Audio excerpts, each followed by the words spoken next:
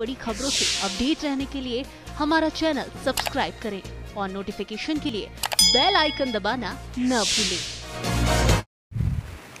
जनपद आगरा की तहसील खेरागढ़ के विकासखंड के उप स्वास्थ्य केंद्र डूंगरवाला में मैन दरवाजे की दीवार टूटी, जिससे कभी भी बड़ा हादसा हो सकता है। ग्राम पंचायत डूंगरवाला के सदस्य ओम दत्त राजपूत ने बताया कि उप स्वास्थ्य केंद्र डूंगरवाला के पास प्राथमिक विद्यालय डूंगरवाला के छात्र छात्राएँ खेलते रहते हैं। उक्त टूटी दीवार से यदि कोई हादसा हो जाता है तो उसकी पूर्ण ज़िम्मेदारी ग्राम पंचायत प्रधान डूंगरवाला निर्मला देवी व सचिव रामेश्वर प्रसाद की होगी।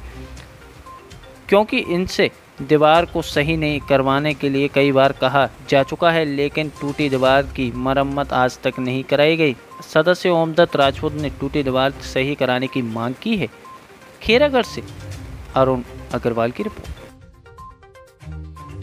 आपका परिचय? मेरा नाम ओम दत्त है और ग्राम पंचायत डूंगरवाला से मैं सदस्य हूँ। सर आपकी समस्या क्या है? समस्या ये है कि ये सरकार की तरफ़ से उप स्वास्थ्य केंद्र का निर्माण कराया गया था ये आप देख रहे हैं। कितने समय पहले निर्माण कराया गया था बताइए सात आठ साल पहले हुआ था। और इसकी दीवार टूटी हुई है। इसकी तरफ़ न तो प्रधान ध्यान दे रहा है न ग्राम विकास अधिकारी दे रहा है न जो स्वास्थ्य की N M C N M वाली नर्स हैं वो भी ध्यान नहीं दे रही।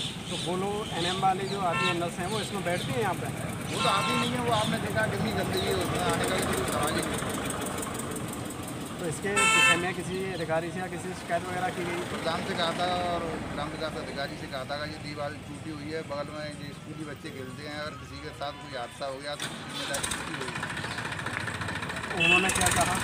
वो ध्यान